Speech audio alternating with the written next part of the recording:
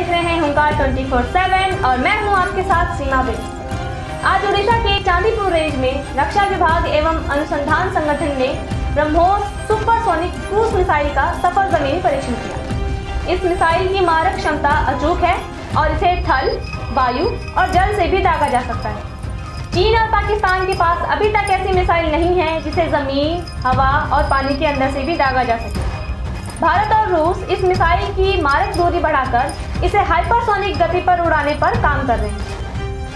आने वाले दिनों में दोनों देश मिसाइल की रेंज को 290 किलोमीटर से बढ़ाकर 600 किलोमीटर करने के ऊपर भी काम करेंगे, जिससे पाकिस्तान ही नहीं, बल्कि कोई भी टारगेट पल भर में तबाह हो जाएगा।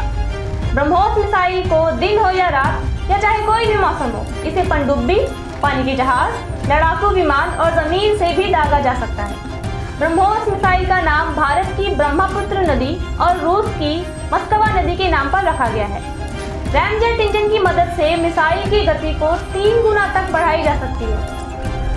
जैसे कि अगर मिसाइल की गति 100 किलोमीटर है तो उसे 320 किलोमीटर तक कर सकते हैं। इस मिसाइल की गति ध्वनि की गति से तीन गुना अधिक है और यह 2.8 मैक की गति से लक्ष्य पर प्रहार करती है, जिससे दुश्मन को संभलने का मौका तक नहीं मिलता। ब्रह्मोस के एयर लॉन्च वर्जन का परीक्षण लगातार चल रहा है। सुखोई लड़ाकू विमान से इसके बहुत से सफल प्रयास ट्रायल हो चुके हैं। जमीनी हकीकत जानने के लिए बने रहिए हुंकार 24/7 के साथ। धन्यवाद।